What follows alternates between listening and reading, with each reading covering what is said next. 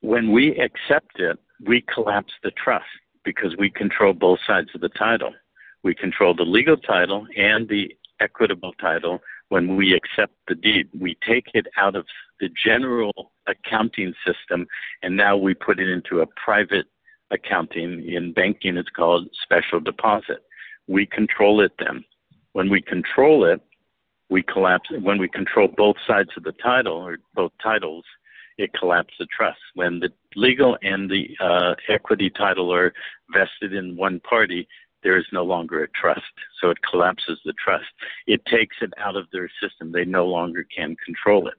Now we can turn around and create an express trust with that deed and control the equity and place it in the proper place. And by doing that, now we can turn around and those who would be our dominating masters, the courts, the police, the IRS, whatever, now are reappointed as trustees and we bind them to their own law, their own legal code and requirements. And if they breach that trust, there's liability because equity acts in persona, meaning they cannot stand behind the um, uh, the veil of limited liability in the corporate world. That's how they get to do what they're doing because they don't have liability. But in equity, that doesn't exist. There's in personam and there's full liability. So on that basis, then we now have the director position of that trust or account. And I'm not going to go further on that because a lot more detail and, and pieces there, and we're almost out of time. So, what is the other maximum inequity that relates to commerce? That maximum is equity will not come to the um, uh, what's the word? Um, come to the support of a volunteer. So what does that mean? It means for as long as we're a volunteer and we consented to be the volunteer surety to that public side of debt, we have no equity. Equity will not come to our support. But conversely, once we have perfected and corrected our status and we are the true owner as the beneficiary, equity will always come to our uh, our aid. And um, that's what we have to make the system step into or stand down from their presumption, their arrogance that they they are are above that. Uh, it's not complete. There are many people, you know, not hundreds of thousands, but there are hundreds, maybe thousands of people pursuing this, not just in Gemstone and Pantera. There's lots of other people pursuing uh, the same kind of track to perfect standing in equity so that we can start making the public officers um, conform to what they're bound to do. But for as long as we're in commerce, I'm going to finish with this last point. They don't have to. And here's where it ties back to the 14th Amendment. 14th Amendment says, Section 1, that um, uh, any person born or naturalized in the United States is a citizen thereof and subject to the jurisdiction thereof. Okay. Those franchise, those legal names are U.S. persons. They're citizens. Um, when you're bonded as a surety to that, you're presumed to be equal to that. So you're a U.S. citizen. That's where they control, like FATCA worldwide. You have a bank account somewhere, you're a U.S. person, they control it. Um, and in fact, where the system is going is every person on the planet will be a U.S. citizen at some point if it's not turned around. Uh, so um, so that's section one. Section four begins the uh, validity of the debt, the national debt, can never be challenged, including pensions and bounty in the uh, bounty for services in the suppression of insurrection and rebellion. That that phrase there is is a complete pivot point of the entire system, because you go into 19, that was uh, 1868. You go to 1917, there's something called the Trading with the Enemy Act that excluded U.S. persons as under the definition of an enemy. But then you go to 1933, March 9th, the 73rd Congress, the very first act, just do it, Google search, 73rd Congress Legislative Acts, the first thing comes up is the Emergency Banking Relief Act. And in that, the first thing it said was the president is pre approved by the Congress to do anything under emergency rules to protect the currency. And the currency is defined, it's not there in that particular place, but it's defined as the creation of public funds, which is monetized debt in fulfillment and adherence to public policy. So then it goes on, which means that the Congress pre approves anything the president wishes to do for as long as the emergency continues by proclamation or executive order or several other ways to do it. So when people yell the president is, you know, running the show as a as a dictator through executive order, technically he's just doing what Congress has pre-approved him to do. So it's technically adhering to the rules of the Constitution because Congress has to create the law and the executive executes it. But now they've pre-approved it and they've given him, you know, complete um, authority to do that. To do one thing: protect the currency, protect the money. And so then it says that if anybody, um, uh, hang on, let me rephrase that. Um, it, then it goes on to say that the um, the particular section in the Trading with the Enemy Act is hereby amended that any person subject to the jurisdiction of the United States is uh, controllable under this act. So this goes back to Section 1 of the 14th Amendment. Any person who's subject to the jurisdiction of the United States where the 14th Amendment said any person born or naturalized within the United States is a citizen and subject to the jurisdiction thereof. So now the Emergency Banking Relief Act amended the Trading with the Enemy Act to say a U.S. person, which is the fictional name, is an enemy of the state. This gets into military occupation, it gets into international treaties, which I'm not going to go into. We don't have time, we'll do it next session. But the bottom line is if you're a bonded surety to a U.S. person, then you're an enemy of the state. Now you come under the issue of insurrection and suppression of that or rebellion for Section 4 of the 14th Amendment. What does that mean? It means that as long as you have accepted the bonded surety relationship to fuse yourself, be married to your U.S. person, all cap name, then anytime you do something to harm the public against public policy, um, you are basically engaging an act of belligerence.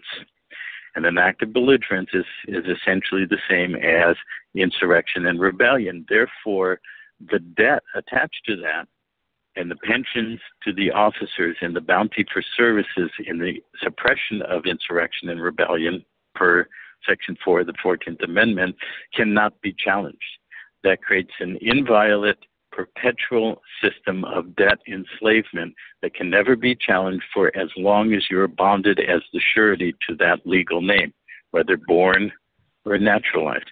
That's why you must sever that completely and com- and completely and completely uh, comprehensively to change your status and assert that point into the system so that the system actually knows that you have done that. And that's what our status correction does.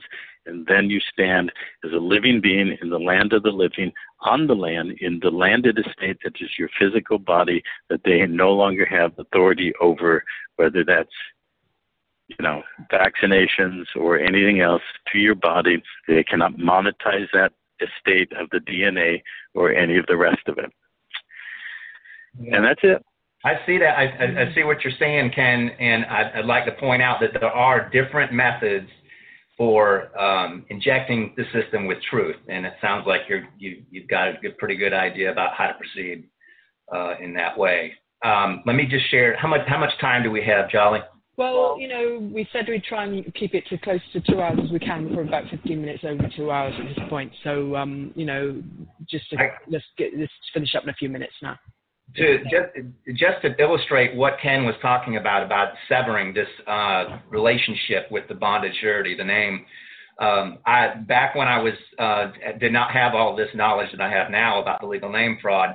I was uh, I had brought suit against uh, several attorneys a doctor, and a sheriff's deputy, and, and other people. Now, this is a federal court case, and this federal court case came to a halt immediately after the judge uh, began to question me. He said, Will you be represented by an attorney today? I said, No. He then asked me, Will you be representing yourself today? I said, No.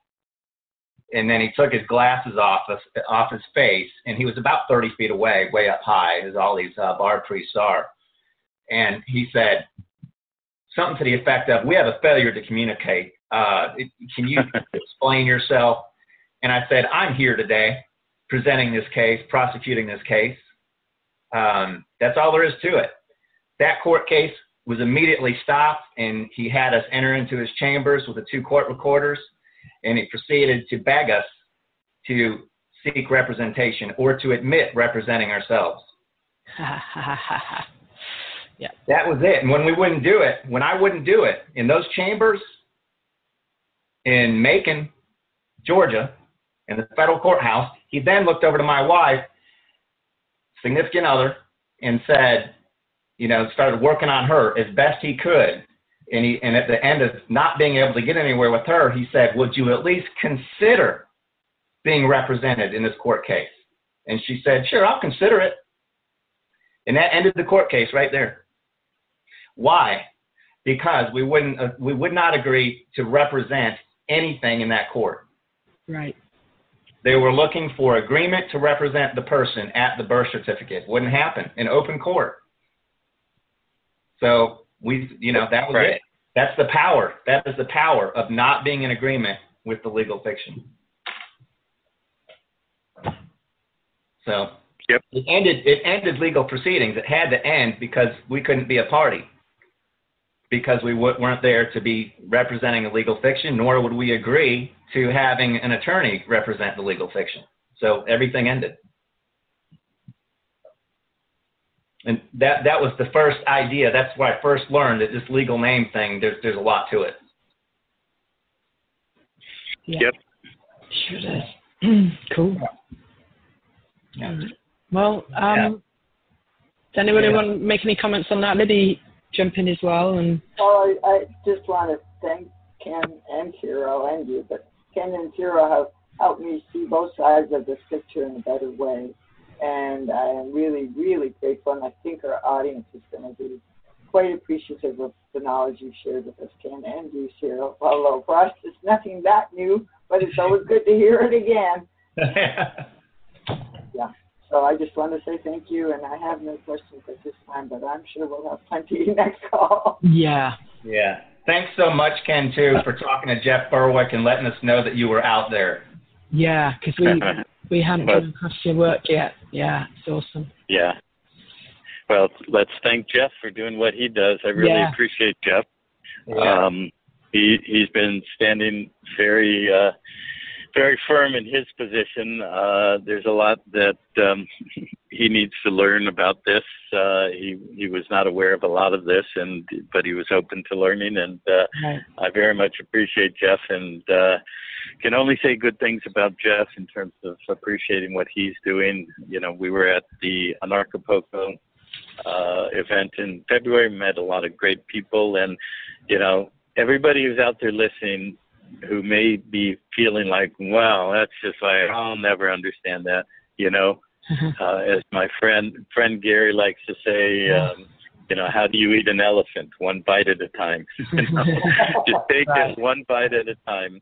Yeah. Um, you will amaze yourself to learn this, and like I said, eh, you know, grounding it in your awareness uh, will open these things up. And we live in a hologram, and the hologram, a, hologram is created by wave patterns that are directed as a cross interference that creates a new pattern that an imprint of an image is put on. So the physical reality we're in is real. The floor you're standing on is real. You're not going to fall through it. What's not real is the, the holographic inserts of this construct that we're talking about in our heads.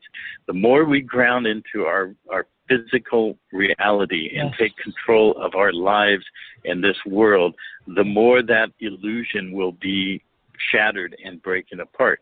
Right. And so, you know, Jeff has done tremendous amount to do that by what he does with his newsletters and now the Anarchapulco uh, event. And there were four, five, six hundred people there who all went off this year after they were there, not maybe not all, but most, and they talked to 10 or 20 or 50 people, and they talked to people. And what you guys do, uh, that's why our focus is education and media. What you do on this media show and the ripples that it creates, it's opening up the awareness. So even though for the listening audience this may have been overwhelming, uh, the more you expose yourself to it, the more you open up to it, the more let go of predetermined, pre-programmed beliefs of reality, and that includes especially religion and all of those belief systems, because the word religion means to bond again. Mm-hmm. Our minds have been bound and bonded to the law of the priest, and we agreed to it. So stop agreeing to it. Stop Yeah. consenting. Exactly. You know, so so we are breaking through this hologram of deception and illusion. Awesome. Thank you guys very much. Yeah, thank you so much, and definitely we will. Um, I'll keep I'll keep in touch with you as to when you've time to uh, join us for one of our regular programs on uh, a Wednesday afternoon, and uh, we'll totally uh, set it up for questions and answers, and um, you know, see how many people are, are, are sort of open to looking at this this direction. I know you know a lot of us have been just trying to make it very simplistic, and that's the way we we like to be because uh, life really is simple when it gets down to natural life. Uh, but um, yeah, I completely see what where you're going with this, and not completely, I have a good idea. And uh, yeah, I very much want to pursue this and, and you know see where we can go with it, and definitely um, by means of radio show, uh, we want to share as much of this information as we can and give people their options and you know where to go. So we really appreciate you know everything you said and about you know potentially giving people scholarships and that sort of thing. Uh, people are kind of struggling, but if we can teach one, two, three, ten, hundred people, just think what difference that would make. So um, it's really, really a wonderful thing to to be making this connection. I really, really appreciate it. So, so thanks very much.